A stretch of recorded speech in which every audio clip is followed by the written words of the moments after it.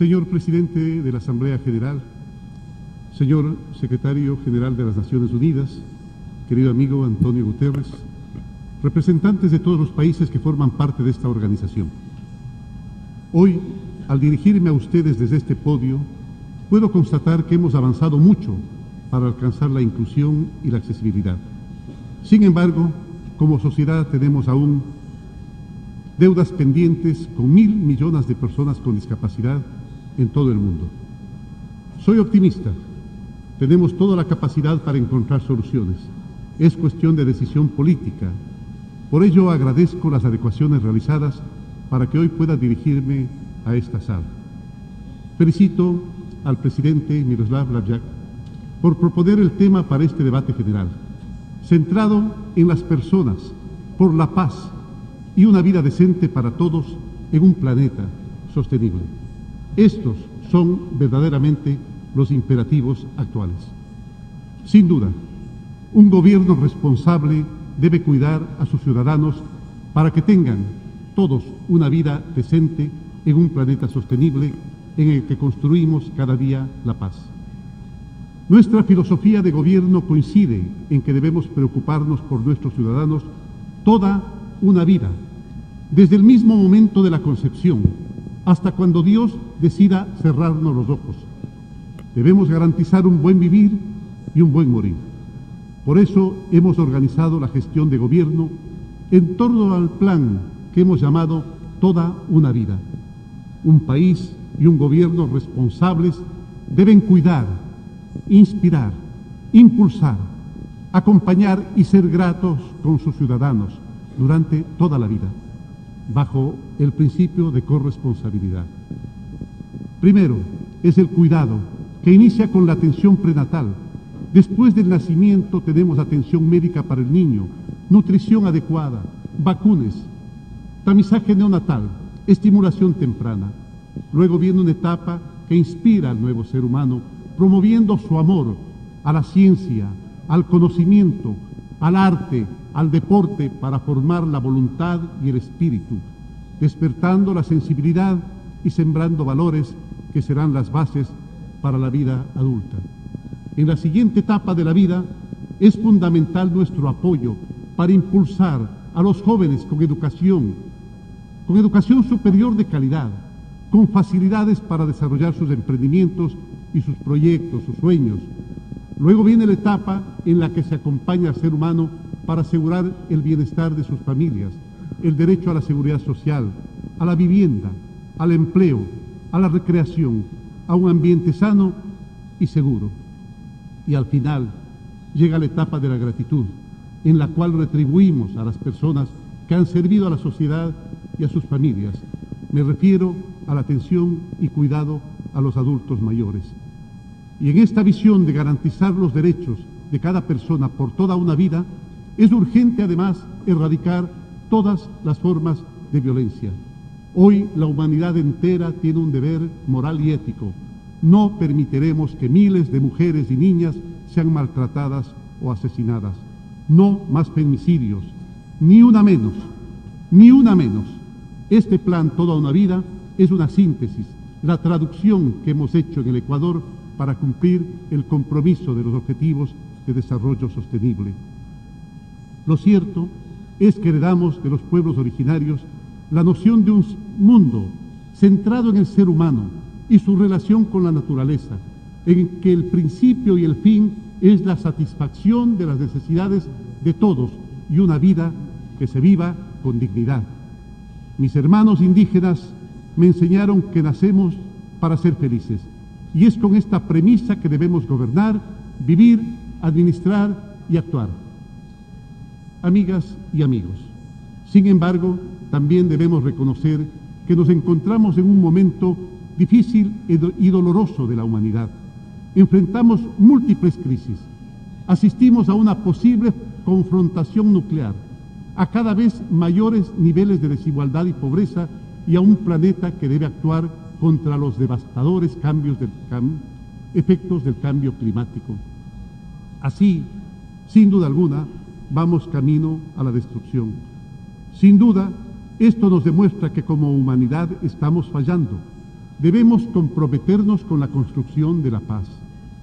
Consecuentes con esta necesidad, el día de hoy suscribiremos el Tratado de Prohibición de Armas Nucleares y hacemos un llamado a que todos los países suscriban este histórico instrumento internacional. Sabemos que la industria militar es un gran negocio, por eso no comprendemos que se condene y se persiga a los traficantes y no a los productores de armas. ¿Cuál es la ética que está en juego? ¿Cuál es la ética que está en juego? ¿Cómo es posible que recursos que pueden ser destinados para financiar el cumplimiento de los objetivos de desarrollo sostenible sean desperdiciados en el absurdo, en el absurdo de la guerra? Queridas ciudadanas y queridos ciudadanos del mundo, creemos firmemente que la paz y el desarrollo se construyen con el diálogo. Pero si continuamos con las guerras y los bloqueos a estados y pueblos, como el bloqueo al hermano pueblo de Cuba, jamás podremos alcanzar una verdadera libertad y democracia. Por eso, insistimos que se respete la soberanía de los estados y la no injerencia, la no injerencia.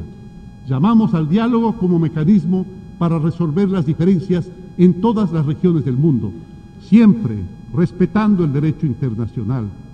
El militarismo no es la respuesta, solo trae sufrimiento, dolor y muerte. Por ello, apoyamos decididamente los diálogos de paz que lleva adelante, por ejemplo, el gobierno de la hermana República de Colombia con el Ejército de Liberación Nacional en nuestro país. Celebramos el Acuerdo de Quito, anunciado hace pocos días para el cese de fuego bilateral y temporal en Colombia. Así, paso a paso, se cumple la proclama de la Comunidad de Estados Latinoamericanos y Caribeños, CELAC, de ser una región de paz. Como mencioné al iniciar mi intervención, tenemos otro gran desafío, la alarmante desigualdad en el mundo. Es inadmisible que ocho personas posean la misma riqueza que la mitad más pobre de la humanidad. Esta injusticia va contra el derecho al desarrollo y a la dignidad humana. Un camino para enfrentar la desigualdad de manera urgente es tomar medidas fiscales justas. Debemos combatir la evasión y la ilusión fiscal. Estos recursos son vitales para el desarrollo de nuestros países. Además, la utilización de los paraísos fiscales ha servido para ocultar la corrupción, tanto del ámbito público como privado. Si queremos combatir verdaderamente la corrupción, debemos fomentar la cultura de la transparencia.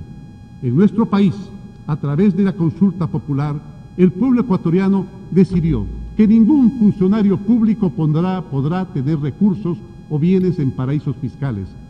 Ecuador, desde la presidencia del G77 más China, ha impulsado esta agenda global por acciones tributarias justas, reiteramos la necesidad de crear un órgano intergubernamental sobre cooperación tributaria en las Naciones Unidas.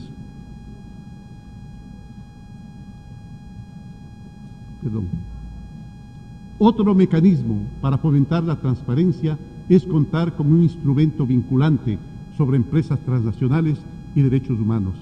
Agradecemos el apoyo de todos los países que comparten esta iniciativa. Amigos, y amigas. Mirando la devastación causada por los fenómenos climáticos de las últimas semanas, no puedo dejar de expresar mi solidaridad con los pueblos afectados y referirme a uno de los mayores desafíos que tenemos como humanidad, la responsabilidad de combatir el cambio climático. Debemos cuidar nuestra casa común, asegurar la sobrevivencia del planeta. La explotación sin límite de la naturaleza nos ha llevado a vivir las consecuencias del cambio climático y somos los países en desarrollo los que pagamos, sin duda alguna, los costos más altos.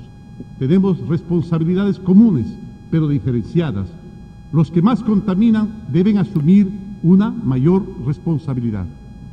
Como ustedes conocen, Ecuador es uno de los ocho países amazónicos, habiendo nacido y crecido yo en la Amazonía ecuatoriana, tengo el deber de impulsar la protección de la mayor cuenca hidrográfica del mundo.